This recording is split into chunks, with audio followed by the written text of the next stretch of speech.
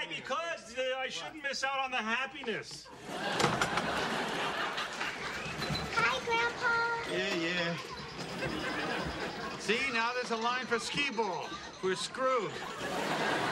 Where have you been? We ran into traffic.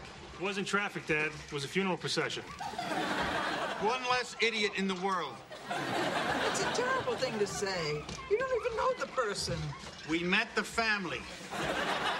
And believe me, the family von idiot. You met them? During the fight. What fight? There was no fight. They didn't want to get their good suits dirty. What happened? A few people, I don't know, I guess they were the mourners.